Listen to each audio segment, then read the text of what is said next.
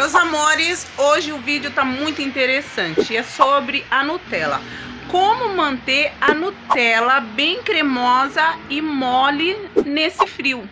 É, meu amor, um seguidor pediu e tô eu aqui para explicar tudinho passo a passo. Você gostou desse vídeo? Então vem comigo! Olá, meus amores! Sejam todos mais que bem-vindos aqui no meu, no seu, no nosso canal. E o vídeo de hoje tá como? Tá uma Nutella só, tá uma delícia, meus amores. Gente, trilhões de beijo pra você que tá chegando aí pela primeira vez. Trilhões de beijo no coraçãozinho de todos que me seguem. E seja todos mais que bem-vindos nesse canal maravilhoso. Meus amores, então, o que acontece? Vou falar como eu cuido da Nutella, porque, gente, no frio, a Nutella funciona assim. No frio, se você não souber cuidar dela, ela vira uma pedra. No começo eu sofria, gente, com Nutella. Eu não sabia, eu sofria. A Nutella não entrava ali, não saía no bico ali de churros, Jesus de Nazaré. E no calor? No calor ela vira aquela meleca. Ah, meleca. Mas hoje nós vamos falar dela, o nosso foco é falar dela no frio, porque um seguidor pediu bem detalhes, então eu vou falar passo a passo. Como que eu faço? Deixa eu mostrar pra vocês a minha Nutella. Então, gente, enquanto eu vou falando, vocês já vão dando aquele trilhões de likes aí, tá ok? Porque nós precisamos disso, meus amores. Onde eu deixo minha Nutella? Ela chega aqui, né, eu compro assim, de 3 quilos de Nutella.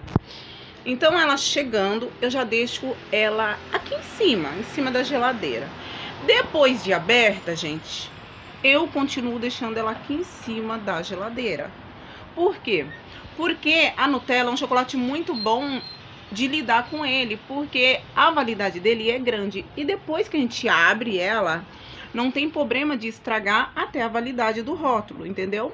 Então ela pode ficar fechadinha nesse lugar bonitinho que ela não vai estragar. E o que que eu fiz com a minha Nutella? Mas por mais que tá aqui, se vocês for ver, é um lugar bem arejado e tudo, mas no frio ela fica um pouco não fica tão cremosa, assim, mole. Mas o que, que eu faço quando eu tenho que espejar ela aqui no bico? Porque se, o, se eu for colocar aqui no bico e aquele coisa e tiver frio, gente, é quase impossível de tirar. Então o que, que eu faço? Eu pego a Nutella, entendeu? E coloco ela próximo a um lugar, gente, próximo a um lugar quente, entendeu? eu deixo ali, eu já chego cedo, entendeu? E já coloco ela bem perto no lugar quente. Então eu vou vou fazendo ali o pastel, os churros, ela já vai automaticamente ficando cremosa, entendeu? E assim que ela já vai ficando cremosa, eu já jogo ela ali dentro do bico. E por que que eu coloquei o bico bem próximo aqui do dos caldeirão de fritura?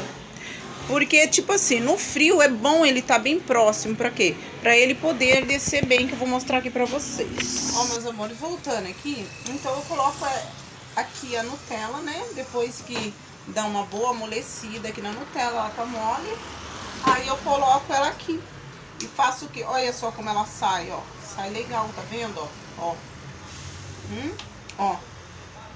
Bem cremosa, fácil de colocar no churros, entendeu? Então, gente, é assim que eu cuido da Nutella, porque se eu deixar ela aqui em cima da geladeira, igual eu deixo, e for aquele tempo de bem frio mesmo, ela vira uma pedra. Aí eu coloco ali no bico, o que acontece? Ela não sai. Então, automaticamente, quando eu vejo que eu tô sem Nutella no bico, eu já coloco ela ali perto do fogo, tá ok? Estraga? Não estraga, gente. Olha, eu trabalho seis anos já com Nutella e nunca minha Nutella estragou, tá bom? Então não tem problema de você colocar ela um pouco no lugar meio quente pra ela dar uma, uma cremosidade, diluir e você poder trabalhar com ela, tá? Aí vocês vão me perguntar, assim, que eu sei que vão perguntar, é... E se a gente fazer banho-maria? Então, gente, eu nunca fiz banho-maria com a Nutella, que daí ela vai ter muito contato com o calor, né? Aí depois, a não ser que você vai colocar uma quantidade em banho-maria e usar toda aquela quantidade no mesmo dia, né? Então, acredito que dá super certo. Mas eu, como às vezes eu coloco ali no bico e às vezes eu não uso toda a quantidade, Então, realmente, eu não faço banho-maria que pode levar a estragar o chocolate. Tá bom, meus amores?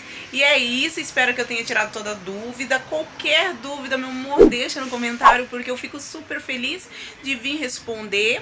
E tudo que eu sei, assim, eu acho legal, passo pra vocês. E é isso aí, vamos ser amigos, se comunicar, porque é pra isso que estamos aqui, um ajudar o outro, né não?